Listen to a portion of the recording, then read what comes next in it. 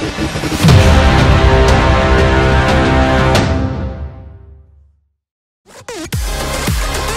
avais dit que ça allait être court. On se retrouve pour l'annonce justement de ce match qui arrive sur scène dans quelques instants. Je vous le disais, Suède contre Danemark. Ceux qui vont me rejoindre sur cette scène vont vivre Counter-Strike sur Internet tout au long de l'année. Applaudissements pour CND Manu Venez rejoindre Messieurs, quel plaisir de vous avoir. Il paraît qu'on a 5 jours de compète de dingue sur Counter-Strike.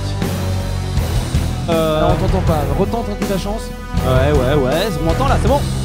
On aura euh, parmi les meilleures équipes du subtop mondial, une équipe à surveiller notamment les héroïques qui sont les grands favoris avec Alternate du tournoi. On peut parler un peu de- du match qu'on va avoir dans quelques instants. Euh, forcément, le mot Fnatic Academy, Fnatic fait rêver. Est-ce qu'aujourd'hui ils sont à la hauteur euh, d'une si belle écurie? Fnatic Academy, euh, c'est une équipe qui est du sud-top européen. Ils n'ont pas d'énormes performances à leur actif. Et dans ce tournoi, ils ont tout à prouver. Donc, euh, contre une équipe rock qui vient de faire des changements, Donc ça c'est peut plutôt, être le- intéressant. c'est plutôt le test. C'est-à-dire que là, ils vont être face à peut-être une première scène, peut-être même, et grand test pour eux. Ouais, en fait, c'est des jeunes joueurs de la scène euh, suédoise qui ont, à qui Fnatic a fait confiance pour une deuxième line-up. C'est un petit peu à la mode en ce moment de prendre une, une équipe de jeunes joueurs. Et euh, c'est vraiment très intéressant de voir leurs prestations aujourd'hui parce qu'il y a des joueurs de talent comme Plisson qu'on attend vraiment sur cette scène. Donc en gros, leur futur, c'est sur la scène que ça va se passer, quoi. Une partie se joue Non, mais c'est un peu ça. Ouais, un petit peu. Ok, face à eux, on a Rogue. Là aussi, ça fait rêver. Rogue, qui sont bons dans plein d'autres jeux. Celui-ci, peut-être pas encore énormément. C'est quoi C'est là aussi une nouvelle line-up? Alors, euh, ils avaient une line-up il n'y a pas très longtemps, mais ils ont fait des changements. Il y avait Maniac, un Suisse qui faisait partie de l'équipe, qui a été remercié avec HS. Et ils intègrent deux Bulgares au sein de leur line-up, qui est Bubble et, euh, et Victor. Et effectivement, cette nouvelle équipe, euh, on attend de voir ce que c'est la donne. Et alors, qui est favori euh, dans ce tournoi, dans ce match plutôt Dans ce match, en tout cas, clairement, c'est Rogue parce qu'il y a trois joueurs danois de super expérience avec deux Bulgares avec un très très bon skill individuel. Et théoriquement, eux ont déjà l'expérience des scènes. Et là, ils partent avec un vrai avantage devant ce public. Et bah c'est parfait. On les applaudit bien fort. S'il vous plaît, CND Manu, je vous laisse aller vous installer sur vos postes de commentateurs. Je vous propose tout de suite de passer à Counter-Strike. On y va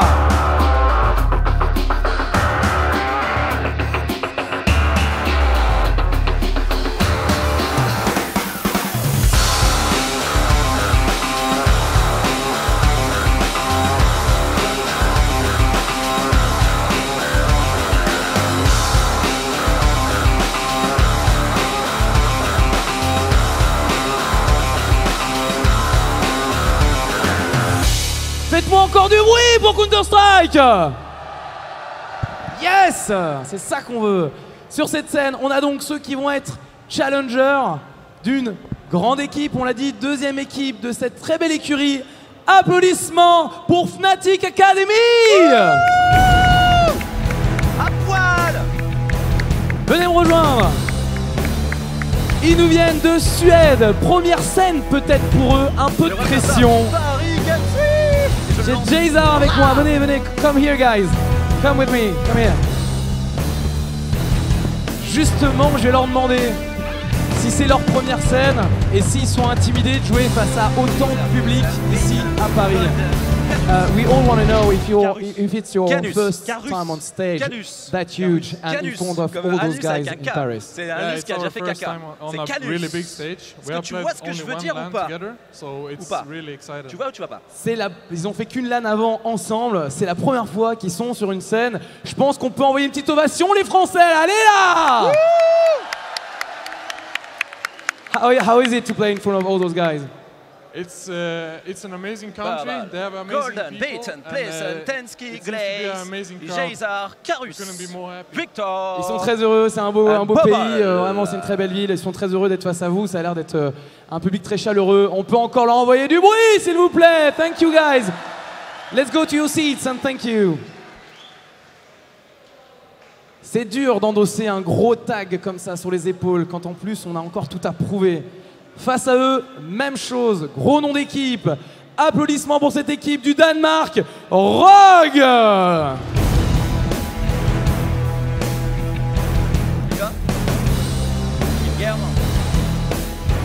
Cadian, que j'ai à côté de moi.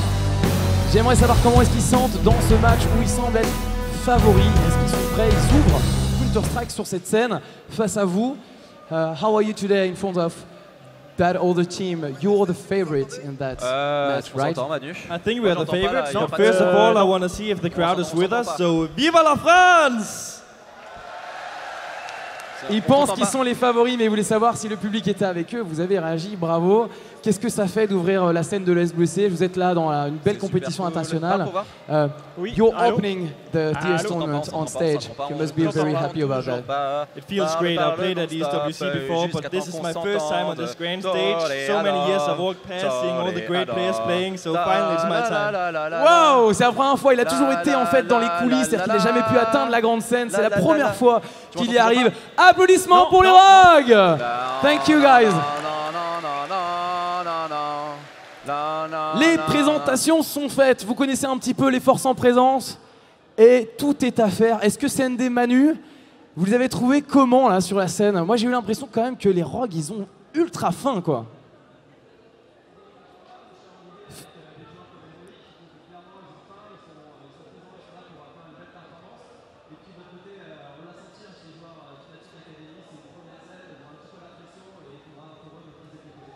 Et ben on va voir ça tout de suite.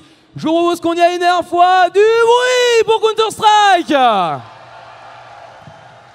We used to be crazy in love. Can we go back?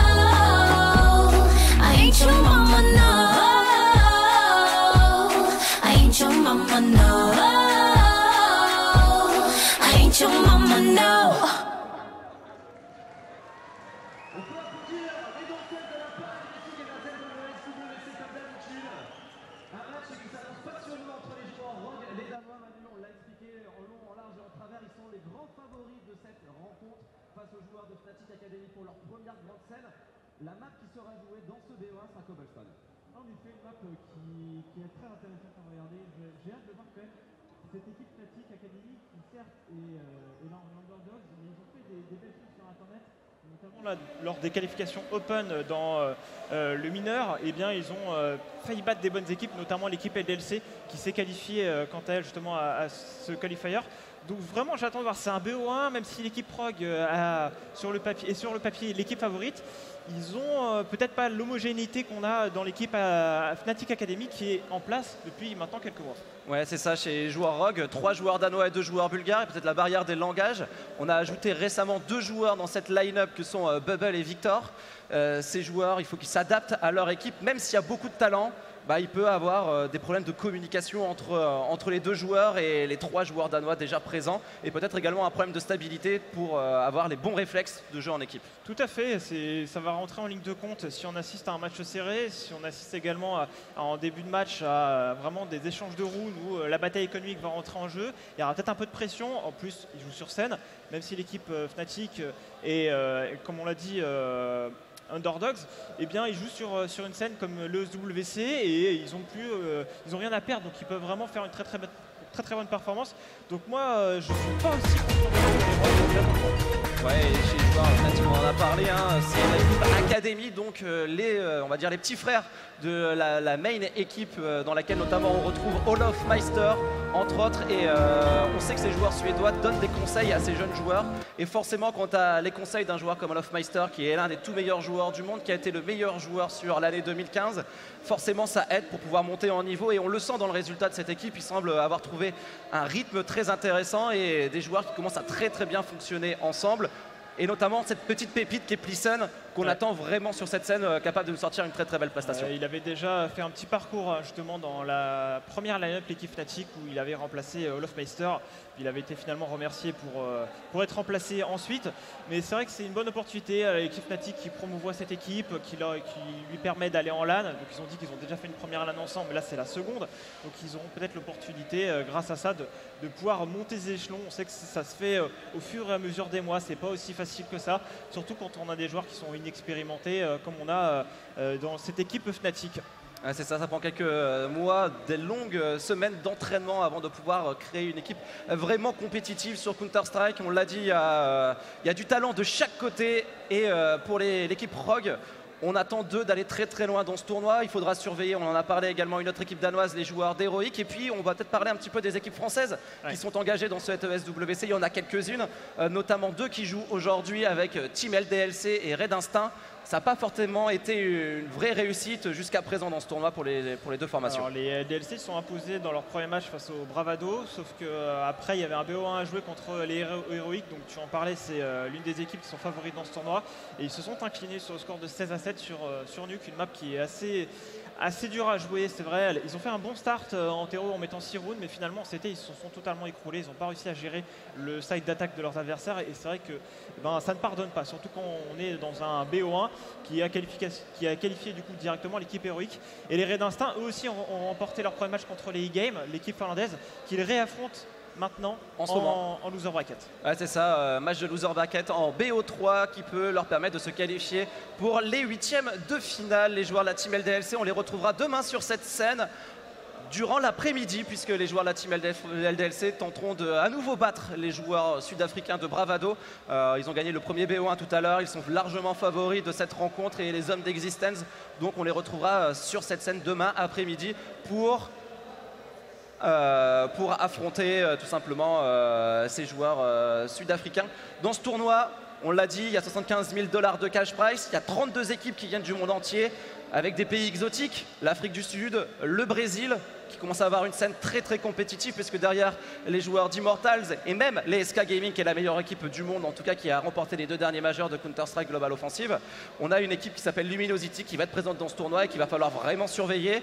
Et euh, on a d'autres encore pays, type la Chine, qui ont envoyé un représentant donc euh, avec l'Inde. Vraiment une très très grosse diversité d'équipes présentes. Ah, C'est vrai que maintenant sur euh, CSGO, on ne voit plus ce format de, tournoi où on a 32 équipes, on a plutôt des, formats de tournoi, on est sur du 16 ou 8 équipes. C'est vrai que 32, on peut du coup avoir vraiment un panel euh, dans le monde entier assez important. Et c'est vrai que la Chine qui euh, débarque de plus en plus maintenant sur cette scène compétitive avec euh, notamment les Tailou, qui est l'équipe numéro 1 qui a bah, obtenu des visas justement pour les États-Unis mais également pour l'Europe pour pouvoir se déplacer beaucoup plus facilement. Parce que c'est vrai que pour, ces équipes, ce qui est un peu problématique, c'est les déplacements sur les tournois qui ont lieu en grande majorité sur le, continent nord-américain ou en Europe.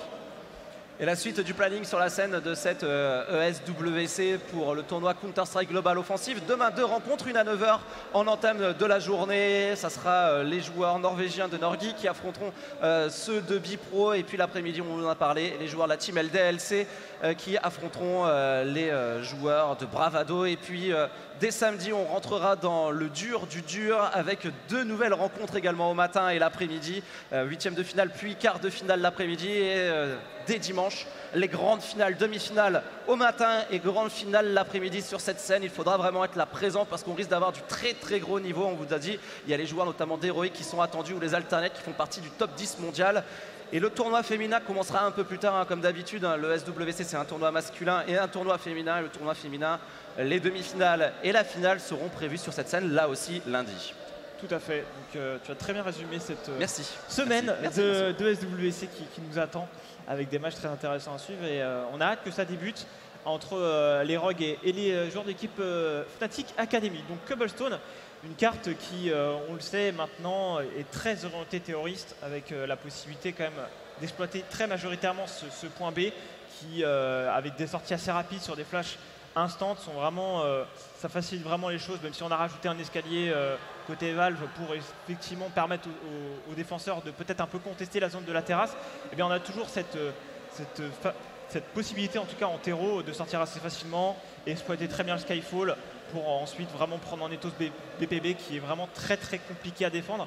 Donc si on a une équipe qui se détache en CT, elle sera l'équipe qui euh, prendra rapidement l'avantage. Ouais, Cobblestone, hein, c'est une map qui est revenue vraiment à la mode ces derniers mois. Elle a été revenue dans le map pool officiel des grands tournois de Counter-Strike Global Offensive pour le SL1 Cologne 2014. Et puis depuis, euh, cette carte aujourd'hui fait partie des euh, cartes les plus jouées par les équipes, les top équipes internationales avec euh, pas mal de possibilités et clairement une map maintenant qui est plutôt à l'avantage de l'équipe qui attaque comme euh, Counter-Strike Global Offensive, euh, Valve a fait beaucoup d'efforts pour équilibrer son jeu et permettre aux équipes en terroriste de pouvoir marquer plus de points. Et bien Cobblestone n'échappe pas à la règle et c'est même en tout cas l'une des fers de lance des maps plutôt orientées sur le, le jeu d'attaque et il faudra justement, tu l'as dit, surveiller les défenses parce qu'une défense qui est efficace sur cette map, c'est globalement euh, 90% du travail qui est effectué pour pouvoir s'imposer derrière dans cette rencontre sur le side d'attaque.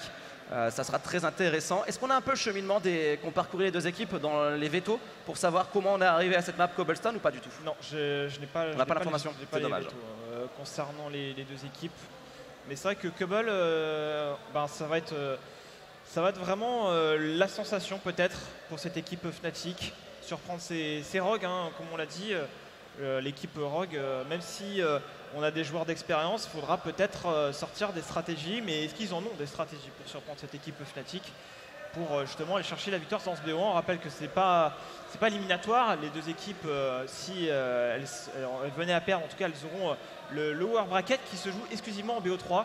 Donc, ce qui, est intéressant, hein, euh, puisqu'on ne va pas faire deux BO1 et se faire éliminer. On peut au moins défendre ses chances sur au moins euh, trois cartes dans le lower bracket. Ouais, clairement, l'objectif ici, c'est euh, d'avoir euh, deux chances pour se qualifier et permettre vraiment aux équipes de jouer un maximum euh, de matchs. Elles viennent du bout du monde. Leur assurer au moins deux rencontres, dont une en BO3. Ça fait euh, au minimum, euh, ou quasiment au minimum, 4 maps à jouer durant ce tournoi. C'est quand même plutôt positif, surtout quand tu viens d'Afrique du Sud ou, euh, ou de pays exotiques. Euh, ça fait vraiment plaisir d'avoir euh, plusieurs possibilités pour se qualifier. En plus de pouvoir visiter Paris, quand même, euh, une très très belle opportunité. On a un problème technique sur l'un des joueurs Fnatic avant de pouvoir lancer cette rencontre. C'est pour ça que ça prend un peu de temps avant le, le lancement du match. J'ai l'impression que ça devrait être bon d'ici quelques instants, puisqu'on a arrêté de s'affairer autour du joueur qui avait un problème technique. Et que donc d'ici quelques instants, la rencontre va pouvoir commencer. On a hâte. Mais c'est toujours comme ça sur CS, on le sait. Oui, un un, match de CS qui n'a pas un peu de retard, ça débute jamais à l'heure. C'est pratique. C'est euh, c'est l'art de Counter-Strike Global Offensive. Débuter à l'heure est quasiment mission impossible. C'est euh, c'est pour ça que la c'est un, peu, euh, c'est un peu l'enfer des organisateurs en général. Le planning, c'est un peu dur de le respecter avec CS, mais c'est vrai que là, est-ce qu'on aura un match expéditif? C'est aussi là la question. Pour présenter un petit peu les, joueurs, hein, parce que euh, côté Fnatic, vous connaissez peut-être pas forcément les pseudos, on aura euh, Plesen dont on a parlé, on aura Karus, Jezar, Batten et Golden. C'est des joueurs effectivement que sur, si vous suivez un peu la scène euh, CSGO, vous connaissez pas forcément, en tout cas si vous suivez les majeurs, les principaux tournois, effectivement c'est une équipe qu'on ne voit pas. Ouais, en face, euh, chez les joueurs Rogue, euh, on a parlé des joueurs d'expérience. Il y aura notamment Kadian à regarder. Euh, Kadian, il a beaucoup bourlingué, il a fait beaucoup de grandes équipes de la scène danoise. Il sera très intéressant à suivre. C'est un peu la même chose pour Tensky et Glaze. Euh, des joueurs qui n'ont pas forcément réussi à percer dans le top 3 danois, puisqu'il est aujourd'hui composé de Dignitas, qui est maintenant sur le podium des meilleures équipes du monde grâce à leur performance à l'Epicenter, où ils ont réussi à battre en demi-finale les joueurs Navi, et puis derrière réenchaîner une très très grande performance contre euh, l'une des équipes du top 3 mondial, c'était face à Virtus Pro. Et puis euh, euh, les joueurs d'Astralis aussi, euh, qui ont du mal en, ce moment à se stabiliser avec le départ de Carrigan notamment, et la recrue de Glaive qui nous vient d'Heroic. Et Heroic, justement, c'est la troisième meilleure équipe sur le sol danois qui se fait quand même amputer de son leader in-game et globalement de l'un des tout meilleurs joueurs, si n'est le meilleur joueur de cette équipe Heroic. Donc Rogue arrive derrière ce top 3 danois, mais la scène danoise, globalement aujourd'hui, elle est hyper compétitive et c'est meilleur- la- c'est limite la meilleure scène du monde. C'est clair. C'est une scène euh, où on peut vraiment euh, avoir des, des équipes qui peuvent se retrouver dans le top mondial euh, assez aisément. Et les Fnatic, eh ben, dans cette scène suédoise également très très bien pourvue. Avec euh, Godsent, l'équipe Fnatic bien sûr, les joueurs aussi euh, de De la NIP. NIP à ne pas oublier. Alors que le Knife Round devrait euh, pas tarder à se lancer. Du coup, la game qui va, qui va, qui va Je crois, que- je débuter. crois qu'on joue pas de, de knife round, on commence directement avec euh, les rogues en défense et euh, les Fnatic en attaque. Ça me surprendrait qu'il y ait un knife round et ça serait peut-être dans le système de veto. Les ready qui commencent à être lancés par les deux équipes. La rencontre qui devrait débuter maintenant euh, d'ici une trentaine de secondes. Rogue versus Fnatic Academy, c'est le premier match sur scène de cette ESWC 2016. Les Danois sont favoris, les Fnatic arrivent en underdogs. Le public, c'est le moment de faire un maximum du bruit et d'encourager les deux équipes Rogue versus Fnatic Academy. Et en effet, on est parti directement sur le pistol round. Tu avais raison, CND, avec euh, une défense assez classique. On part à 4 en B, on le sait que ce point est euh, le centre névralgique de la carte. Ouais, avec euh, un joueur qui va tenir tout seul le bon psita, c'est Kadian. On a un joueur qui a pris du stuff chez Fnatic Academy, c'est Jezar. Les autres joueurs sont partis sur des Kevlar, donc très peu d'utilitaires. On va essayer de faire un round très direct et le premier duel est remporté. Ça rentre sur ce bon petit B. Plissen qui arrive à enchaîner. La très bonne défense de Victor qui ne parviendra qu'à prendre un seul duel. Faut que Tensky gagne absolument ce 1 contre 1. C'est juste il faut temporiser. Il est repéré maintenant par les joueurs Fnatic. Ouais, on essaie un peu de le contourner, on va le rusher, mais il arrive à tenir finalement son premier duel. Son coéquipier de Lorivage, Plessen, effectivement, dans ce 1v2, le premier kill de sa part. Il est maintenant en 1v1, 3 kills d'ores et déjà. Il va peut-être avancer là. Bon, ce serait important quand même pour permettre à son équipe d'avoir un peu plus d'argent. Attention. Il est repéré maintenant pour son adversaire. Il faut poser cette bombe. Plisson qui essaye de faire bouger Kadian, qui a changé de position. Il est en train de faire le tour de son adversaire. Le 1v1 maintenant entre les deux joueurs. 55 points de vie pour le joueur suédois qui essaie toujours de poser cette bombe et qui va remporter son duel. Le 1v2 remporté par le joueur de Fnatic Academy. Ah, il rentre très très bien dans cette partie, la. Et effectivement, il va falloir compter sur lui côté Fnatic. Avec euh, maintenant le round où on va investir prématurément pour les Rogues. On va sortir du CZ, du 5-7, du Deagle. Kevlar casque et c'est des rounds qui sont euh, ben, très très durs à aller chercher également pour les attaquants parce qu'on peut se faire surprendre et effectivement en face il y a du skill donc il peut y avoir du répondant. Il faudra surveiller notamment les Deagle de Tensky et de Victor. Ça peut partir très très vite avec ces joueurs bourrés de talent, notamment Victor qui a un skill incroyable. Joueur individuellement très très solide, du ZZ contact, du 5-7 contact, là aussi ça one shot, une balle dans la tête et l'affaire est réglée malgré Kevlar, donc ça peut aller très très vite pour les joueurs Rogue. Il falloir être vigilant pour les joueurs Fnatic Academy qui n'ont pas négligé leur achat, puisque habituellement on a tendance à prendre beaucoup de pistolets mistrailleurs. Là on est parti comme sur deux AK-47 et deux Galil. On a vraiment investi beaucoup sur ce round pour les Suédois. Alors on va contester la zone maintenant du Skyfall. Une zone assez gênante à prendre. Ça, on, on essaye vraiment de déloger les adversaires, les motifs qui ont été employés. Et on essaye de faire bouger un petit peu Bubble. Ouais, c'est cocktail Molotov. Vraiment, l'objectif, c'est de reculer un maximum la ligne de front des joueurs euh. C'est pour ça qu'ils ont lâché la zone contact et qu'ils se retrouvent dans un second temps à la sortie de la zone pour essayer de contester l'avancée des joueurs Fnatic qui prennent leur temps. hein. Pour l'instant, c'est vraiment très précautionneux avec Glaze qui attend derrière cette smoke. Un duel éventuel face à Golden. L'UMP 45, il doit essayer de faire quelques dégâts sur ce round. Il va repérer son adversaire, il est dans son dos, mais il va perdre son 1v1 face à Glaze. Et ils sont bien replacés, hein, les joueurs euh, Rogue là, ils sont tous sur le point, mais ça va être compliqué. Là, pour euh, les joueurs classiques qui sont un peu esselés, les trades qui sont pas du tout à leur avantage. Blessed qui se retrouve tout seul avec son coéquipier qui est en train d'essayer pour l'instant de tenir cette position terrasse. Le HS qui passe, attention 2v3. La rotation était très bonne et Glaze qui arrive enchaîner une nouvelle fois. C'est Bayton maintenant tout seul en 1v2. Un v3 même qui ne, peut rien, qui ne pourra rien faire et le round de force buy qui va passer avec un triple kill de Glaze qui a réussi à gagner un premier duel dans ce Skyfall qui a récupéré le MP45 de son coéquipier, de son adversaire et qui a derrière réussi à finir tranquillement l'équipe adverse. On l'avait dit, il y avait danger avec cette équipe de Rogue.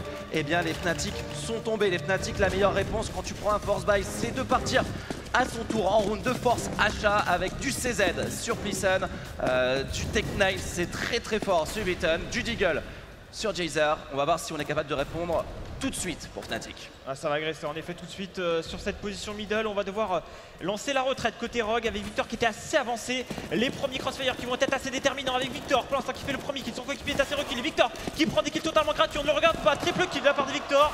Avec ce One Deagle qui a fait vraiment mal. Mais attention, c'est quand même passé sur ce bombe site. On a perdu la bombe. Avec Kadjan qui a effectué une rotation très très rapide et qui se permet de se débarrasser de Jezar assez facilement. C'est encore une fois Baton en 1v2 qui va devoir inverser la situation. Un joueur pour BP qui repéré maintenant et qui décale, c'est Glaze qui assure le deuxième point consécutif des joueurs Rogue. Solide grâce à un exploit individuel de Victor qui est venu annihiler Manu l'avancée des joueurs Fnatic qui cette fois-ci vont se retrouver en économie. Alors on le sait, hein, cette position là qui est très très redoutable parce qu'on avance euh, en- directement dans le middle, on est exposé de vraiment beaucoup d'endroits et effectivement c'était totalement gratuit pour Victor qui a vu un premier adversaire et les deux autres ne le regardaient absolument pas. Désormais effectivement on a une équipe statique qui va partir juste sur du pistol gravé. Avec euh, des joueurs Fnatic en économie. Gros avantage pour eux. La M4 de Victor pour tenir cette euh, longue A. On va pas trop prendre de risques non plus, ça serait dommage de donner une arme. On sait que les adversaires sont en économie, il n'y a aucun risque à prendre pour le moment pour euh, les joueurs, les joueurs danois. Plissen et ses coéquipiers sont en train de rechercher une opportunité de prendre un petit duel. De toute façon, l'objectif là pour les joueurs suédois, c'est clairement un d'essayer de poser cette bombe et si on n'y parvient pas, infliger quelques dommages économiques à l'équipe adverse. Quelques pocs sur Plissen, trois petits points de vie, c'est un peu compliqué pour lui. Et là, on sent un setup très classique des Rogues en défense. On est sur un setup contre écho, deux joueurs fixes en A et trois joueurs fixes en B. En effet, on va essayer encore une fois de travailler cette position Skyfall, mais on est bien attendu. La part qui voilà, qui a deux kills totalement gratuits. On s'est aligné devant lui, dans le middle, pareil pour Bubble. Et il ne reste plus qu'un seul joueur. Il était dans la C'est longue. propre. C'était un round d'écho de la part des Fnatic. Ils n'ont pas de Kevlar. Et c'est forcément beaucoup plus simple pour leurs adversaires. On sait que lane punch, hein, punch c'est quoi? C'est lorsqu'on se fait toucher et qu'on n'a pas de Kevlar, notre viseur eh bien, euh, a des difficultés à rester en place. Et ça euh, de- rend de plus en plus difficile les, euh, la capacité de tuer l'adversaire. Maintenant, on a des Kevlar, on est surtout bien armé avec des AK, quelques fumigènes, des grenades pour les joueurs Fnatic. On l'avait dit, il faut faire un bon side d'attaque, donc il faut réagir déjà, déjà pour les joueurs Fnatic et ne pas laisser ces rogues s'envoler. Ouais, ils ont un petit problème en, termes de stuff, en termes d'accessoires. hein. tu l'as précisé, il manque des grenades. Ils avaient euh, très peu de stuff et euh, ça risque d'être un jeu assez direct. On ne peut pas négliger euh, ce gros avantage qu'a les joueurs danois dans cette défense avec des cocktails Molotov pour bloquer les avancées des joueurs Fnatic et puis cet avantage de grenades pour vraiment bloquer des zones et forcer les joueurs suédois à prendre des risques à prendre des lignes forcément un peu plus ouvertes avec ces, ce manque de stuff. On est en train de préparer pour l'instant le bon site A pour le Fnatic Academy où un joueur est bien positionné. Contact, c'est Kadian. Quelques euh, pré-fire de Plissen derrière cette smoke. On l'a dit, ça temporise parfaitement bien. On va essayer de faire un petit boost juste au-dessus. Ça ouvre un petit timing et Kadian en difficulté. Il trouve quand même un duel travers smoke. Ah ça c'est bien le, le petit pré-shot de sa part, il attend hein, certainement la sortie dans cette smoke d'un adversaire. Par contre on est en train de s'infiltrer pour euh, Golden là au niveau de ce Skyfall, c'est du 4v4, hein. il est très très bien placé, ce BPA va être délicat à défendre pour les joueurs Rogue. Ouais, ils l'ont compris, Kadian qui a déjà effectué un, bon- un bon mouvement pour se débarrasser de son adversaire. Il faut venir épauler maintenant le joueur Fnatic, mais la bonne rotation de Tensky qui est venu positionner dans le dos de son adversaire avec Kadian qui enchaîne. C'est tranquille pour les Rogues, 3 contre 2 quand même avec Jezar qui arrive à enchaîner. Ouais, attention sur le BP, on le sait, hein, il y a Kadian. Kadian doit sortir de cette position et se replacer. Ses coéquipiers qui sont pas très très loin sur cette défense. Pour l'instant, ça passe euh, pour les joueurs. Il ne reste plus qu'un seul joueur, c'est Gézard. 1 contre 3, le premier qu'il est fait. Il faut désormais prendre la bombe, l'amorcer. Ça va être compliqué. 20 secondes. Il est obligé d'aller chercher un duel là. Sinon, ça va être du 1v2. Ils vont lui sauter dessus. Il ne pourra rien faire. Il faut d'abord récupérer cette bombe 14 secondes, réussir à récupérer des dollars, 800 dollars. S'il perd ce round pour les joueurs Fnatic, ça sera déjà quand même un gros plus économique pour la suite. Mais un V2, ça se gagne, 28 points de vie. Il faut trouver les têtes très très rapidement. Il est surpris de dos par Tensky qui assure un quatrième point consécutif pour Rogue. Pour l'instant, très très bien. Ça communique beaucoup parce qu'on sent qu'il y a quelques imperfections dans la défense encore des, euh, joueurs Rogue. Même si le point est assuré, ils auraient pu faire quand même mieux parce que les joueurs Fnatic étaient quand même sur une stratégie assez lisible. C'était Glaze là qui se manifeste auprès de Kadian pour justement peut-être essayer de, de régler ces quelques soucis. La reprise s'est bien passée, 4 à 1 désormais. Et euh, on va avoir des, Fnatic qui sont dans un round de semi-achat. On a du Tech 9, on a du Kevlar Cast, quelques grenades, notamment des flashs et des fumigènes, pour tenter quand même de mettre le round. Et ils seront euh, bien armés sur le, prochain point. Attention, à des rounds Tech 9, on en a vu des centaines hein, déjà passer pour euh, les équipes de très très haut niveau. Ça peut aller très très vite. Un, duel, deux duels. T'as un Kevlar casque derrière, tu récupères une AK, une M4 et le round peut être facilement remporté. Le Tech 9, c'est une arme très très forte à ne pas négliger sur Counter-Strike. D'ailleurs, on ne défend pas les zones contact hein, pour les joueurs rock qui laissent venir encore une fois au niveau de Skyfall. Glass qui révèle sa position. Par contre, là, il n'y a plus de balle dans son chargeur. Faut lui sauter dessus pour les joueurs Fnatic. C'est ce qu'on est en train de faire. Icarus qui vient chercher justement le joueur danois. Ah, mais dans la longue, dans la longue, ce duel il va être remporté finalement. Ils y vont un peu à deux là. Ils se, ils se bousculent quelque peu dans la longue et finalement on prend l'avantage pour les joueurs Fnatic. Ils sont très très loin là, les deux joueurs euh, Rogue au niveau de ce point B. Ils doivent faire tout le tour de la carte. Se sont fait déborder dans le Skyfall, hein, les joueurs danois. Ils vont essayer de s'attendre pour reprendre ensemble Tensky qui a attendu Kadian. Kadian, une, AK, euh, une AWP pour reprendre la zone, c'est pas terrible. Tensky qui a du mal à remporter son duel, mais finalement, ça sera maintenant une situation de 2v2. Plisson qui n'a pas pu récupérer d'armes, ça c'est un peu dommage pour lui, tandis que Geizar est sur une AK-47. Au contact euh, face à Kadian, le duel est remporté. Tensky en 1v2. Allez, va-t-il euh, le remporter? Il a quand même un kit fumigène pour lui permettre d'avancer quelque peu dans ce middle. Gézard toujours dans cette longue et finalement Gézard qui remporte ce duel triple kill pour lui et cette infiltration par le Skyfall aura été payante. On a effectivement surpris le joueur qui était euh, dans cette position lorsqu'il était en train de recharger et dans ce euh, 4v4 eh bien, on a remporté les duels face aux deux joueurs qui étaient en place au niveau de ce point qui sont quelque peu gênés dans la longue. Ouais, c'est ça, et on l'a dit, hein, euh, beaucoup de mobilité avec les Tech 9, les Kevlar Casque, euh, c'est des armes très très fortes, et ils sont venus chercher au contact justement le joueur Rock était en difficulté, et un joueur à terre, forcément derrière, le trou est fait sur ce bomb site A, les joueurs Rock ont manqué de communication et se sont retrouvés à se bloquer. Sanction instantanée à ce niveau-là, ça paye, ça se paye cash. Les Fnatic ont donc des armes, la même chose pour Rogue. C'est le premier vrai round où les deux équipes sont à 100% de leurs moyens. On a, euh, vous le voyez en haut, des euh, utilitaires et des armes à peu près au même niveau. 28 000 dollars d'un côté, 28 000 dollars de l'autre. C'est un statu quo. Ça va être vraiment très très intéressant de voir quelle équipe peut prendre le dessus. Ouais, J'ai l'impression qu'ils sont en train de, patienter les joueurs Fnatic pour euh, certainement lancer une stratégie encore une fois en direction de ce point B. Ils ont quelques fumigènes qui pourraient leur permettre de s'avancer un peu plus aisément là sur le point B, mais on lit bien la stratégie adverse pour les Rogues. On les voit d'ores et déjà en train de se replacer. Habituellement, ils étaient à 2 en A comme sur le round précédent, et là ils sont déjà eh bien, à 4. Cependant, on va faire l'ouverture tout de même. Côté Golden, on avance au niveau de ce point B. On a Tensky qui se retrouve un peu tout seul. Il va devoir faire euh, le travail pour son équipe. Le premier kill pour lui. Euh, sur un deuxième, non, il se fait éliminer. On doit faire le backup désormais, mais ils n'ont pas encore amorcé la bombe. 3 contre 2. Ouais, ils sont pas encore passés les joueurs Fnatic, faut utiliser. Il n'y a plus de fumigène hein, pour bloquer la zone adverse. Et c'est Victor qui condamne un adversaire, le Revenge de Bubble. C'est du 1v1 maintenant entre Golden et Bubble. Les deux joueurs bulgares qui ont fait vraiment un très très beau travail d'équipe dans cette histoire. Il est repéré, Bubble, il va décaler son adversaire. C'est du skill maintenant, du pur skill. Une flash, deux flashs de chaque côté. On va essayer de ralentir l'avancée du joueur suédois, se repositionner pour Bubble. La bombe, il faut la récupérer pour le joueur Fnatic. Allez, qui va réussir à surprendre. Il se décale de Golden va être victorieux finalement. Et il va remporter ce 1v1 assez important hein, pour euh, ces joueurs Fnatic. On continue encore une fois de, casser l'économie adverse. Et c'est pour ça qu'on les retrouve désormais sur un round déco. Avec peut-être de l'upgrade de pistol seulement. Et ensuite, eh bien, on investira un peu plus. Mais on a l'opportunité pour les Fnatic de revenir à 4 partout. Ouais, ils font un bon travail. hein, C'est important pour eux de marquer un maximum de points sur ce side d'attaque. Ils sont en train de le faire revenir. Ils ne sont pas laissés débarquer. Et là, c'est intéressant. Ils savent que les joueurs Rogue sont en économie. La réponse, c'est prendre deux pistolets mitrailleurs, des MAC-10, pour les mettre devant, essayer de gagner des duels. Et s'ils remportent leur duel, justement, ça leur permettra d'avoir un maximum d'argent, 600 dollars à chaque duel remporté avec cette arme. Ça permet de compenser un petit peu les duels qui ont été perdus tout à l'heure. Le premier euh, coup de sniper est passé pour Gézard. Voilà, les MAC-10 qui passent avec Pearson qui prendra un bon double kill. 1200 dollars en plus dans les caisses, c'est parfait. Carus qui arrive enchaîné à son tour avec lui aussi son Mac-10 et on part à la chasse à l'homme. Kadian est repéré et les Mac-10 qui vont peut-être être efficaces une dernière fois. Il va quand même le ramasser, euh, Kadian, ce, ce justement Mac 10 pour essayer de, de le garder sur round prochain. Oh, le Oh, il a à travers. PHP de la part de Playson, un peu, un peu chanceux là-dessus. Et Kadian qui a très peu de chances de rester en vie, qui va voilà, tomber. Triple kill effectivement pour Playson, ce qui fait euh, vraiment beaucoup d'argent. 1800 dollars au total euh, sur ce round remporté. Il va pouvoir investir sur une AK, la donner à son coéquipier. Et les Rogues vont investir, pas de WP en face, c'est du rifle et surtout pas de, euh, de kit. Donc si on arrive à amorcer la bombe pour les Fnatic, la reprise de BP sera beaucoup plus compliquée pour les joueurs. Il faudra réussir à être efficace en 30 secondes et les 10 secondes restantes pour pouvoir désamorcer cette bombe. 4 partout. Les joueurs Fnatic qui reviennent dans cette partie. En plus, on a le sniper de Jizar qui commence à se chauffer. Très intéressant pour eux. On va partir sur un gros contrôle map pour l'attaque. Manu avec Karus qui va euh, se contenter de défendre la longa avec euh, le soutien de, ses coéquipiers pour éventuellement prendre un jeu de revenge. On va mettre une petite flash pour décaler. faut se méfier sur la gauche. Il y a souvent des setups euh, défensifs qui. sont très avancés pour contrer ces zones. On prend du pré-fire pour Kadian qui va perdre beaucoup de points de vie dans cette histoire et qui vient de reculer bien bas en défense. Les rogues là qui, souffrent dans ce début de round.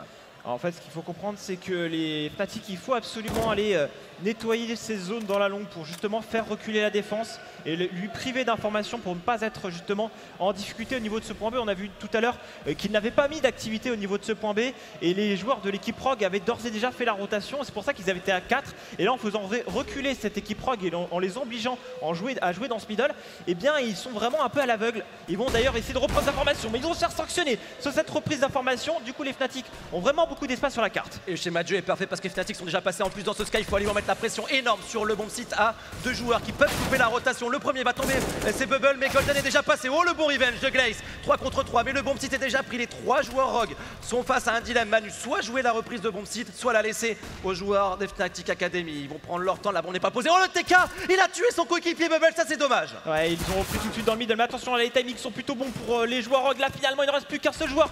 C'est Jar qui n'a même pas vu ses coéquipiers tomber. Attention, le travers le travers Et le double travers incroyable Ce que vient de mettre le joueur de Fnatic Academy de travers. Il anéantit ce 1v2 des joueurs Rogue. Incroyable. Quelle action de folie. Ah, il a sauté pour prendre l'information juste au-dessus. Et bim, après il a juste le tir parfait de la part de ce joueur qui est maintenant en train de faire une très bonne partie. hein. Déjà 11 frags pour lui. En face les Rogues, et bien encore une fois le cycle économique les rappelle à l'ordre. Ils sont obligés de partir sur du pistol. On va avoir quelques Kevlar casques et également des flashs. Donc attention tout de même, on pourrait se faire surprendre. On va changer de rythme. On va courir tout de suite côté Ptatic au niveau de ce point. Il y a des joueurs avec du CZ, contact, ça peut être dangereux. C'était c'est Tensky qui est bien présent, il va être repéré, checké par Karus, c'est parfait. On a pris le Skyfall, on va perdre un Golden, c'est dangereux. Attention à, ne pas perdre une arme supplémentaire. On s'en sort bien pour Blesson, on s'en sort bien pour Beaton et le round est assuré 6 à 4. Fnatic semble enfin dérouler son jeu. Euh, il était temps. hein. Cette accélération, ça met en confiance également toute l'équipe. Être capable de ne pas trembler face à un round où l'équipe euh, en face est juste armée de pistoles. Là maintenant on a le WP pour Kadian qui, on, l'avait vu tout à l'heure sur le début de round, s'était fait un peu surprendre sur sa zone où il était dans la longue. Et il s'était fait euh, eh euh, pas mal amocher, ce qui l'avait obligé à reculer. Est-ce que les joueurs Fnatic vont réexploiter cette prise de la longue qui est quand même assez déterminante hein, sur euh, Cobblestone? Là ils sont plutôt partis encore une fois sur une stratégie assez lente en direction de ce point B avec un joueur, c'est Plessen, toujours dans ce rôle d'ouverture pour tenter de s'orienter au niveau de ce point B. Avec un joueur hein, qui prend la coupe, c'est Beton. De l'autre côté, si besoin, il y a une rotation rapide. Les Rogues hein, qui sont quand même très mobiles. Quatre joueurs sur ce bon site B. Ils ont vu quelques grenades des joueurs Fnatic partir. Ils se doutent qu'il y a peut-être de l'activité qui est en prévision euh, sur ce bon site B. En plus, avec Beton qui met beaucoup d'activité, qui a repéré le sniper, qui fait un gros trou. Du coup, ça oblige une rotation des joueurs Rogue et ça va offrir un timing rêvé en B avec Beton. Le double shot sur Victor, c'est absolument parfait. Et là, les joueurs Fnatic sont face à un dilemme. Ils peuvent repartir en A que coéquipier a fait le boulot. Ouais, mais là ils ont, ils ont lancé pas mal de fumigènes en B et du coup la défense ne sait pas trop à quoi s'attendre. D'accord, il est passé en, en A, mais il était tout seul et finalement, eh bien, on se fait quelque peu surprendre. Voilà sur la rotation, Plessen qui sanctionne le joueur qui dans Skyfall et les joueurs Rogue viennent de se faire outplay juste par un joueur qui a totalement surpris Kadian dans la longue en traversant ses smokes. Il a senti le timing. Kadian se fait éliminer, il enchaîne sur un double kill et le round est gagné pour les statiques. Ouais, une action individuelle qui permet d'assurer un septième point pour les Fnatic. C'est vraiment euh, Baton qui allait chercher ce round tout seul hein, pour son équipe. La bonne coupe de Plissen qui a anéanti tout espoir de Rock qui n'a absolument pas joué sur ce round hein, parce qu'ils ont été déboussolés par l'action en A euh, du joueur suédois. 7-4. 7-4, ça commence à faire beaucoup. hein. L'attaque qui arrive, qui arrive vraiment à bloquer ces joueurs Rogue et euh, la confiance va être un élément très très important pour les joueurs danois qui subissent en plus un cycle économique vraiment euh, indésirable. Round d'achat, round d'économie, round d'achat, à nouveau round d'économie. Quand on est en défense, ça pardonne pas et ça permet vraiment à l'attaque de s'envoler au score. Et c'est ça, avec tous ces points consécutifs euh, marqués par les joueurs Fnatic, eh bien Rogue est en train de, de s'offrir un petit handicap, j'ai envie de te dire, pour euh, la suite de cette rencontre. Alors, on le voit, hein, il y a beaucoup beaucoup d'argent pour les Fnatic hein, qui peuvent vraiment voir assez loin sur ce side qui d'ailleurs est, quasiment déjà fini. Il nous reste plus que 3 rounds à jouer dont celui-ci et on va voir si les joueurs Rogue sont capables de répondre. Ils n'ont pas d'AWP encore une fois, max 7 pour Kadian et 2 kills seulement. C'était 4 rounds, ouais. Avec celui-ci, clairement, le Mac 10 contact de Kadian. Glace, bien positionné avec son AK-47. Il va avoir un rôle important parce que Glace il a réussi à sauvegarder son arme du round précédent et c'est pour ça que les joueurs Rogue sont en achat. hein. C'est parce qu'on a des joueurs qui avaient euh, réussi à, à sauvegarder sur le point précédent. Kadian, contact, c'est très très fort. Le Mac 10, ça peut être très très vite, mais attention, hein. Va falloir très très fort. Le premier duel remporté, pas de double kill, c'est dommage. Payson qui enchaîne Karus, qui se débarrasse de Bubble. Encore une fois, le trou est fait. Et le Skyfall, toujours Golden, toujours un joueur qui prend la coupe. Il est en difficulté, mais il ralentit vraiment la rotation des joueurs adverses. Ouais, ça c'est bien hein, parce que ces coéquipiers pendant ça là s'avancent, ils peuvent sécuriser les zones, smoker euh, les zones déterminantes, mais finalement la bombe va être perdue là. Gla- Glace qui a réussi à prendre un kill au niveau de ce balcon. Et là on perd pas mal de temps, mais on est en 2 contre 3, il reste une minute donc on peut temporiser quelque peu afin de prendre quelques kills. Ouais, la bombe qui va être récupérée par Gézard, qui va pouvoir assurer des dollars en plus pour son équipe et surtout une situation favorable hein, pour euh, tenter euh, la reprise de bombe site des Rogues. Avec cette bombe posée. Ils ont encore un peu de stuff en plus, c'est ça qui est plutôt intéressant pour les joueurs Fnatic. On peut renouveler une smoke, mais Plisson qui va tomber instantanément. Maintenant, c'est Geizar qui doit créer l'exploit. La première balle de sniper qui passe à côté, Glaze qui assure un triple kill sur ce round, un kill dans Skyfall, et puis derrière la reprise de bombe titre est assurée. Les Rogues qui marquent un point super important pour eux parce que ça leur permet de recoller dans cette partie, Manu. Et surtout, Is, oh, en plus un petit troll au passage. Le petit tag, ouais, sur le sol, et bien évidemment. Mais euh, c'est vrai que la, la, la couverture en fait de Golden est- a pas été terrible, la coupe, pardon, puisqu'il s'est fait éliminer. Il, certes, il a un peu ralenti, mais il aurait pu faire beaucoup mieux que ça. Il doit gagner au moins un duel. Certainement laisser passer ses adversaires et euh, ensuite aller chercher de dos. Là, il a vraiment voulu y aller tout de suite et ses coéquipiers n'étaient pas encore vraiment bien avancés. Et c'est vrai que ça a un petit peu sanctionné son équipe. Rock, désormais, euh, qui euh, va peut-être changer quelque peu le rythme. C'est vrai qu'ils subissent depuis tout à l'heure. Kadian est dans le middle, il va certainement tenter d'aller chercher un premier frag.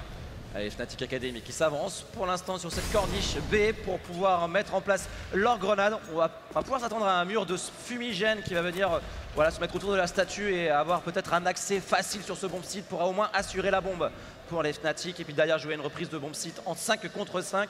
Deux Molotov également à exploiter pour les joueurs terroristes. C'est plutôt intéressant pour euh, faire bouger la défense, notamment celle de Tensky qui est assez dangereuse. Oh, Plisson qui est vigilant. Plisson le double kill. On arrive à répondre pour Glaze, mais là le trou est déjà fait sur ce bomb site avec Plisson, le triple kill. Peut-être un quadruple shot. C'est parfait pour Plisson. Ah, il a fait tout tout seul le euh, rôle d'ouverture qui est fait. Désormais, ses coéquipiers n'ont plus qu'à rejoindre ce joueur très avancé, aller amorcer la bombe. Et Kadian là qui regarde un petit peu désespérément la smoke devant lui. Il espère peut-être éventuellement un décal d'un des adversaires Fnatic. L'objectif n'est plus de gagner le round, mais plutôt de faire tomber des armes pour essayer de les amocher euh, en termes économiques. Avec Plisson hein, qui pourrait y aller là pour essayer de tenter le petit ace, le full team. Ça serait magique. Mais pour l'instant, on ne prend pas de risque. Hein. Fnatic Academy qui veut aussi assurer son économie. Il y a un seul sniper en face. Pas besoin de se précipiter, ils vont y aller tout doucement, ils vont s'assurer qu'il n'y a personne. Plessen qui va décaler, qui est repéré, qui le tue. Non, c'est Golden qui viendra piquer le dernier duel. Mais c'est un nouveau point. Fnatic, quoi qu'il arrive, Academy assure au moins la victoire sur ce side d'attaque. C'est très positif. En plus, les joueurs Rogue n'ont pas d'argent. Il y a vraiment une belle opportunité d'assurer un neuvième points pour eux, un 9 à 5. Et puis peut-être derrière, d'aller chercher euh, un 10-5 qui serait vraiment un score très très fort pour Fnatic Academy qui est en train de marquer les esprits face à un des favoris du tournoi. Après, pour relativiser, les Rogues, même avec 5 points, ils peuvent déjà euh, être satisfaits de leur side CT. C'est quelque chose de déjà très intéressant pour eux. Mais on sent qu'ils sont capables d'aller gratter un petit peu plus. Ça va jouer très rapidement encore une fois au niveau de ce point. Mais est-ce qu'ils vont être surpris par les M4 qui vont quand même été achetés de la part des joueurs de l'équipe Rogue Et pour l'instant, c'est Victor qui fait un, double kill. Il ne reste plus que 3 joueurs à éliminer. Glace finalement très reculé sur cette position avec son M4 qui prend un kill supplémentaire. Le double kill de Glace désormais, reste plus que un seul joueur, c'est Benton. Un V3 à l'accélération qui n'a pas du tout fonctionné. Ouais, joueur suédois qui est tout seul, on va se mettre sur lui, il repère un premier adversaire, le mettrait très low en termes de points de vie. C'est compliqué pour Kadian, mais c'est encore plus pour Betten. En 1 V3, il a repéré un joueur derrière cette statue, il a la formation sur au moins deux adversaires. Le premier décalé bon, 32 points de vie, il arrive à temporiser. S'il peut se débarrasser de Bubble, c'est encore gagnable. Ah, ils sont bien cachés, hein. il reste une minute encore. C'est un peu l'avantage de, de Batten là qui peut vraiment exploiter cette minute. Est-ce qu'il va réussir à surprendre Kadan Non Kadan qui va le toucher, qui ne va pas lui mettre une balle dans la tête, mais ça suffira vu qu'il était quand même déjà bas en point de vie. Et les joueurs Rogue qui vont sanctionner les joueurs Fnatic sur cette accélération. Et euh, finalement, le joueur qui était sur le point a vraiment très très bien défendu. Dans un premier temps, double kill de la part de Victor, double kill ensuite de la part de Glaze. Ça ne pardonne pas sur une sortie au niveau du B. Ouais, avec Gizar qui retrouve son sniper, le Mac 10 contact, le Mac 7 contact pour euh, Glace. Fusil à pompe, hein, comme d'habitude. Des M4, une AK-47 sur Tensky. On a quelques, euh, quelques grenades à exploiter pour les deux équipes. Ces cocktails Molotov qui gênent hein, la défense. Pour les Fnatic Academy, on en avait 5, on en a plus que 4. Mais il faut les exploiter, il faut faire du bon boulot avec. On va commencer à s'avancer pour travailler le bomb site A cette fois-ci avec une défense très avancée, contact de Kadian et de Bubble, un crossfire très intéressant dans ce danger. Par contre, c'est qui tout double. hein. Si tu perds le premier duel, tu peux faire très très vite déborder. Par contre, si tu remportes le premier, tu as une position vraiment très favorable pour gagner le round avec, avec cette zone très avancée. Il y a même un troisième homme hein, qui va venir euh, dans cette zone, qui sent qu'on est en train de la prendre justement. On a appelé du renfort côté Bubble. Il va pas remporter son premier, il y a son coéquipier derrière qui va revenge. On a très très bien défendu. Ils ont ce setup à 3 dans la longue en réaction. Il ne reste plus que déjà un seul joueur, c'est Golden qui va sortir là, mais il y a deux joueurs face à lui, un à sa gauche, un à sa droite. Et finalement, c'est Victor avec un triple kill qui ira chercher la victoire sur ce point. Ouais, on peut applaudir les deux équipes qui euh, finissent cette première manche sur le score de 8 à 7. it. Pour l'instant, c'est très très serré entre Fnatic Academy et les joueurs de Rogue. On va attendre des deux ready, mais euh, vraiment bilan très intéressant. Les deux équipes qui sont sur un niveau proche. Rogue qui fait quand même une superbe opération en marquant 7 points sur son side de défense. Fnatic Academy qui avait vraiment les choses en moins, qui avait atteint ses 8 points, qui menait 8 à 5. Et puis il y a eu ce round de force bike qui est passé pour Rogue, qui a vraiment relancé les joueurs danois sur les deux derniers points. Donc bonne opération pour Rogue au global. Mais Fnatic Academy, s'ils arrivent à remporter ce, pistol round, ils peuvent jouer encore une fois un mauvais tour aux joueurs Rogue et faire la course en tête. Oh, Carus qui trouve la tête de Victor, ça allait beaucoup trop vite. Ouais, il a eu un peu de chance même, je pense, sur ce shot, mais il a réussi à, à prendre un frag. Il se recule en plus pour prendre un peu plus de, de place. Et Glaze qui va se faire éliminer, surprendre totalement. Ils sont vraiment esselés, les Oh, Oh triple kill de Carus qui fait tomber en plus la bombe. On n'a pas perdu de joueurs pour Fnatic Academy et Bubble est esselé. 1v5 pour le joueur bulgare qui se fait annihiler par Golden. Quel pistol round de Fnatic Academy emmené par un Carus exceptionnel triple kill. Ça allait beaucoup trop vite, longue distance, l'avantage des USP. On n'a pas réussi à venir jouer ces duels contact pour Rogue. Eh, C'est vrai qu'on a été très très malin pour Carus hein, dans son remplacement. Il a vraiment surpris. Mais attention, tout à l'heure, ils ont mis également le pistol rune euh, sur le side d'attaque et ils se sont fait sanctionner sur le second point. Là, on voit tout de suite les rogues qui partent sur du Tech 9. Donc, c'est pas gagné d'avance pour les joueurs Fnatic. Il faudrait vraiment bonifier ce round remporté. Et d'ailleurs, dans ce set défensif, on va être à 3 en début de round au niveau de ce combat. La très bonne grenade là qui fait très très mal. Hein, L'UMP 45 du coup qui va vraiment être très très simple pour les l'équipe. Est-ce qu'il va y parvenir Non. Et maintenant, on regarde au niveau de ce point. Mais Carus sur sa hauteur qui tient bon ce point B. Ah, il tient, il tient, il va enchaîner un triple kill. Carus et Plessen qui conclut. Fnatic qui enchaîne. Fnatic peut-être en, route pour, en route pour l'exploit dans cette rencontre. En train de malmener les joueurs rock qui ne passeront pas leur round de force by Manu qui vont se retrouver donc encore une fois en économie. Oh la belle opération. Pour l'instant, on est pour Fnatic qui va pouvoir creuser encore un peu plus leur avance. Se positionner avec 4 points de plus que les joueurs danois. C'est l'objectif maintenant pour les Fnatic Academy avec deux pistolets mitrailleurs, un MP9, un UMP45 pour réussir à enchaîner encore une fois des dollars supplémentaires.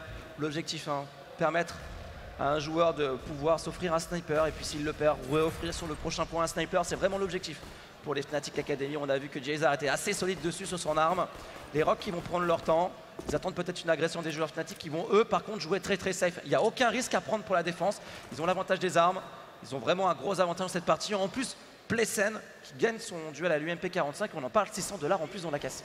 Ouais, ils sont à deux à défendre la zone, donc ça va être encore plus compliqué pour les rogues là. Vu qu'ils sont reculés, ils ont vraiment une petite ligne pour la tête des adversaires avant que les terreaux ne les voient. Ce qui facilitera la chose afin d'aller chercher le kill. D'ailleurs, on va rediriger hein, sur cette longue B. Donc c'est un peu, c'est un peu le move désespéré de la part euh, des rogues. Voilà, face à un Famas à longue distance, ça va être compliqué. Il faut essayer de se rapprocher, mais bon. Carus, encore une fois le triple kill, le quadruple kill peut-être qu'on décide de repartir pour Zensky qui n'a pas la bombe et c'est Plessen qui conclut travers Smoke. Oh qu'est-ce qui nous fait Carus depuis tout à l'heure? Pistol round.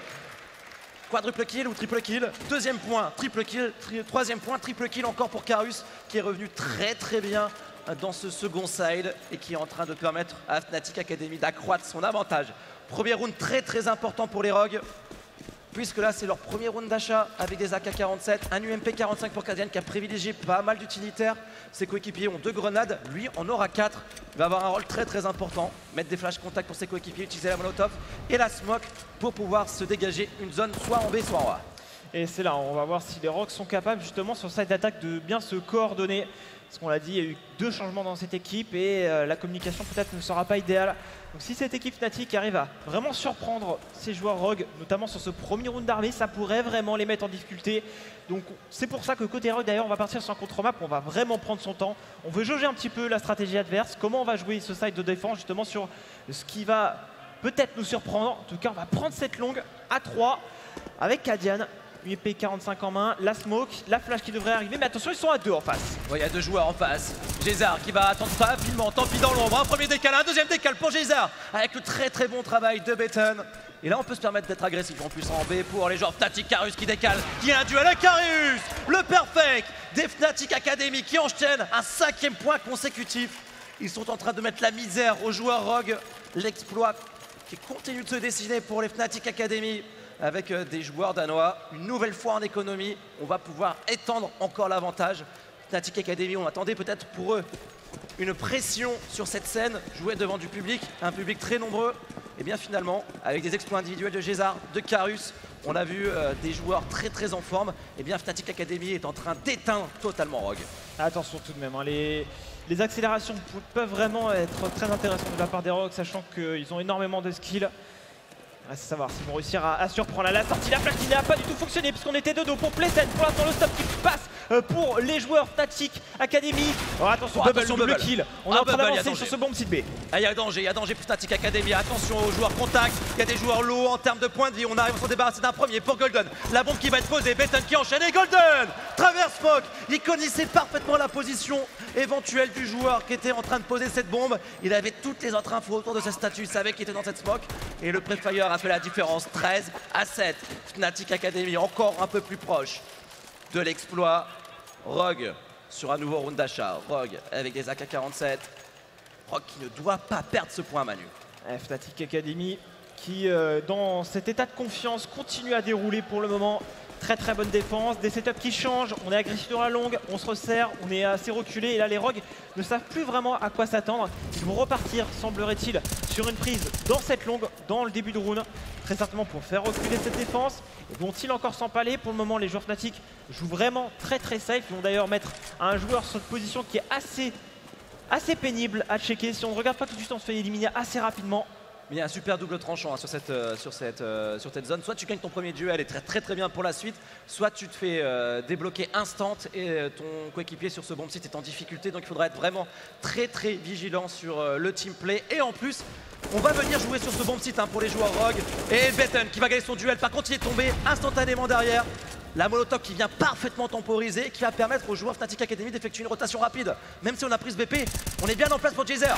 Ouais, il va se faire éliminer malheureusement pour lui. Et là, il y a déjà des joueurs en dessous du balcon. Ça va être encore beaucoup plus compliqué de, de reprendre. En plus, on est vigilant à la rotation des adversaires. On est un peu blanc pour Glaze. Il va finalement éliminer son vis-à-vis. Il ne reste plus que Carus, à d'où l'épée en main. Et il va se Oh, faire rôle. Et les joueurs Rogue ont un petit peu lâché les chevaux. Là, on a vraiment beaucoup plus couru sur ce round. On a certes pris la longue, mais ensuite on a accéléré dans le middle. Et dans cette reprise zone, parce que c'est une reprise zone hein, de la part des Fnatic, qui n'ont pas hésité justement à reprendre sur une flash, aller contester la zone prise par les adversaires, et bien les trades n'ont pas été à leur avantage. Ouais, surtout qu'en plus, en, de, plus de se retrouver face à un, un duel contact sur cette zone, il y avait des joueurs qui étaient déjà passés sur ce bon site et qui pouvaient se retourner à tout instant pour, euh, avec l'information, gagner ce duel. 13-8, ça relance un peu les rogues. Ça fait du bien. En plus, c'est un round quasi parfait hein, euh, qui va euh, leur assurer un bien-être économique malgré justement le reset du cycle économique. S'ils perdent le prochain point, Rogue ne récupéreront plus 3400 dollars, mais 1400. Et ça, c'est handicapant pour eux. Et c'est très très important pour eux de maintenant euh, mettre des routes parfaites avec Vettel qui est bien en place. Oh la Molotov est en plus très très bonne. Le deuxième duel remporté dans les flammes par Vettel. Les Fnatic Academy qui prennent un énorme avantage. Kajan n'a plus que 12 points de vie en plus. Et C'est encore un gros problème là. Ils n'ont pas réussi à, garder cette zone et la prendre. Désormais, ils savent pas ce qui se passe. Il faut aller checker à droite. Batat qui va se replacer. Dans son replacement, il va se faire surprendre par Glace. C'est un peu dommage là pour les joueurs Fnatic, mais il y a un joueur qui est sur le point A, très reculé, vraiment en sécurité. Et là, les joueurs Rock doivent vraiment checker recoin par recoin. Il reste plus qu'une minute. Et en face, on va peut-être se dire, bon, pas trop d'activité en B, on peut peut-être mettre un deuxième, deuxième homme en A, ce qui va rendre encore un peu plus compliqué la tâche des Rogues. Ouais, maintenant tu l'as dit, hein, deux joueurs Fnatic qui sont repositionnés. Golden a rejoint son coéquipier Gézard avec son sniper fond BP. Une position très très forte. En plus, les Rogues vont devoir venir jouer dans les dernières secondes. Les Molotov vont être vraiment précieuses justement pour euh, les joueurs terroristes. Elles sont mal exploitées. Bah, le round va être remporté par Fnatic Academy. Ça serait bien de pouvoir gêner ce sniper. Ça serait bien de pouvoir gêner cette M4 au niveau de ce SWAT, les sortir de leur zone et puis les, les exposer à des duels. Zayzar, justement, qui va être très très bien positionné, qui est en train de prendre son temps.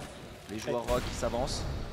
Il a pris Bien zéro. caché Fort Bomb Site. Il a pris ici, un Gézard, il était vraiment bien placé, il a préféré se reculer. Mais là, du coup, il reste 15 secondes. Là, c'est dur pour les joueurs Rogue. Il faut s'avancer sur BP. Il est tellement bien là, Gézard. Il va finalement se faire bouger par une Molotov. Mais c'est le bon backup de Playsen et qui était côté connecteur qui a fait le double frag. Et les joueurs Fnatic Academy qui sont à deux rounds d'aller chercher la victoire face aux Rogue. Et une situation rêvée en plus pour les Fnatic Academy derrière Rogue. Si les joueurs danois perdent ce point, ils peuvent clairement oublier leurs AK-47. Ils vont les avoir sur ce round. Un joueur au Galil, un joueur à l'UMP-45. C'est pas forcément euh, les meilleures armes du jeu.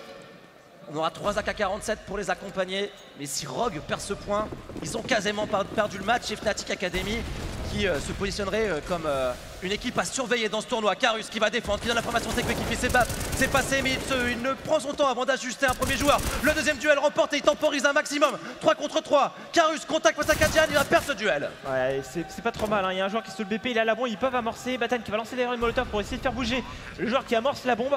Mais ils sont en place, ça va être compliqué là de reprendre tout de même pour les joueurs euh, Fnatic. Et voilà, on est déjà peut-être pour Gézard en train de se dire que le 1v3 va être compliqué à les remporter. Il va y aller, mais il va se faire éliminer. point des Rogues, on peut les applaudir avec un Victor qui signe un triple kill. Ce round était vraiment très très précieux pour les joueurs danois. C'était euh, absolument objectif le remporter, sinon c'était exit dans ce premier match et euh, quasiment euh, condamné à la défaite.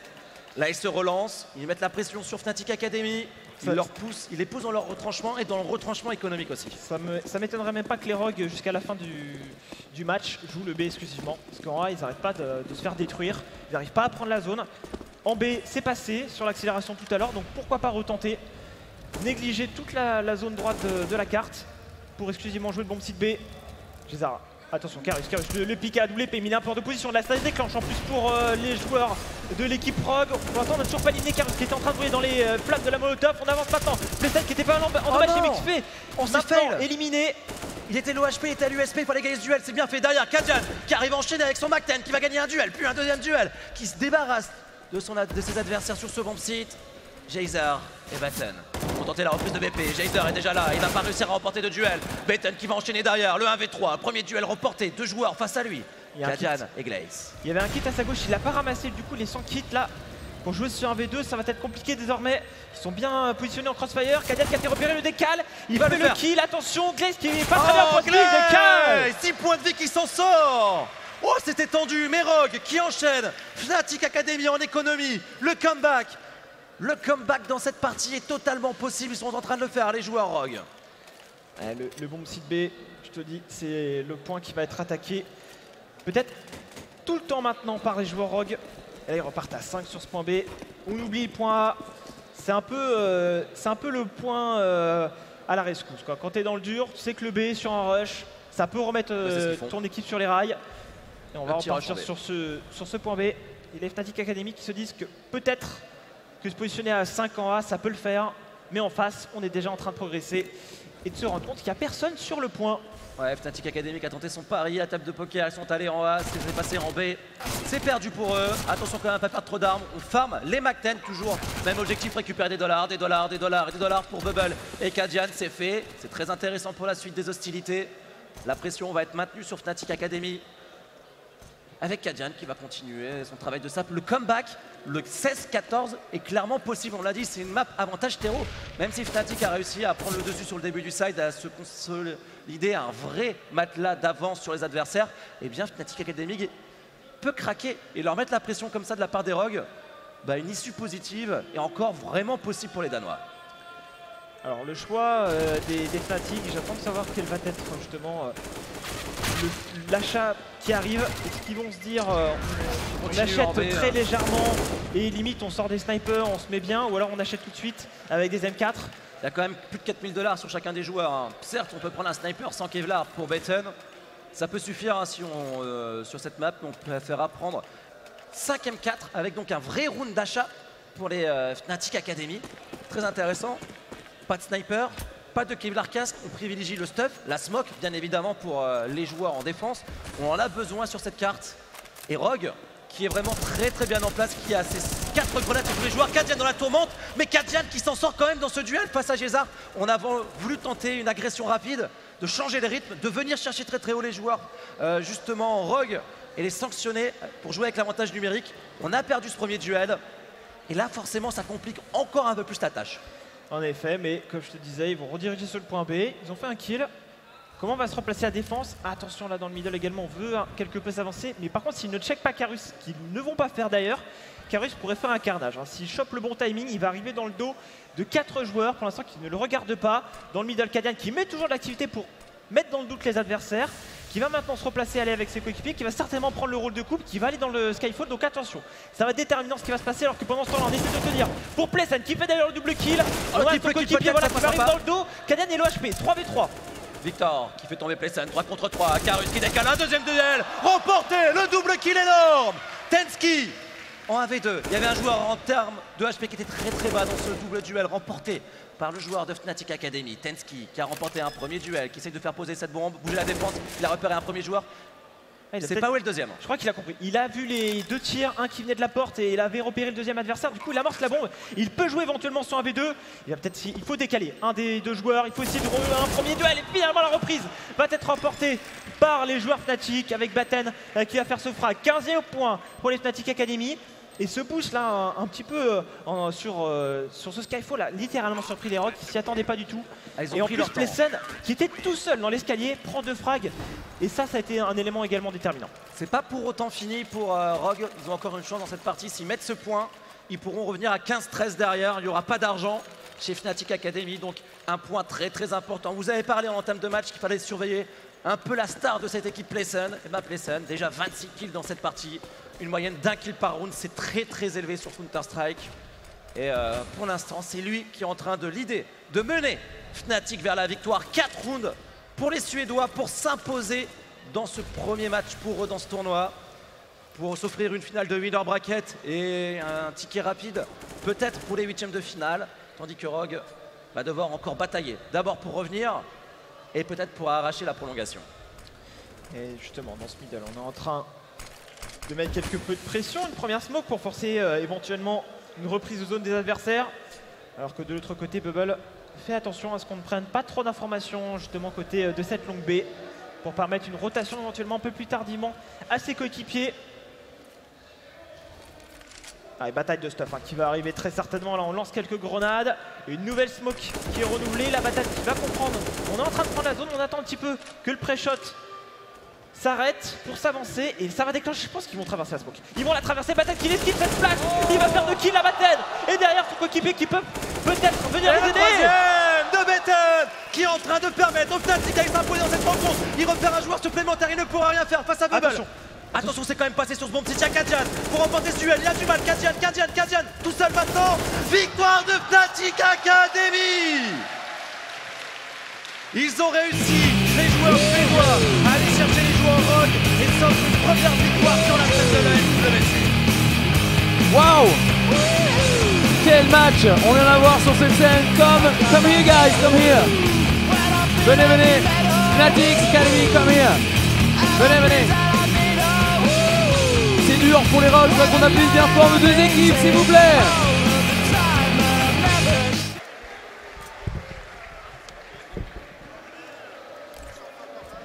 Venez me rejoindre. Come here, guys. Come on stage with me. All together. Come here, Rock, team. Come, all the team. Here, please. Both sides. Come with me for the interview.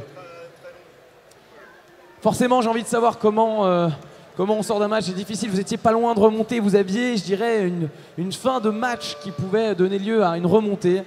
Et ils ont été solides en défense. Euh, What happened in that game? At the end, you were coming back very strongly, but that last round was very tough. I don't know. Uh, we lost. Uh, it's hard, hard to say anything. Um, obviously, we didn't expect to lose, but uh, that's how it go, how it goes sometimes. And uh, we just hope we can come back stronger tomorrow. Voilà, donc c'est dur, euh, forcément triste. Et comme ils disent, bah, c'est pas fini, il va falloir revenir demain.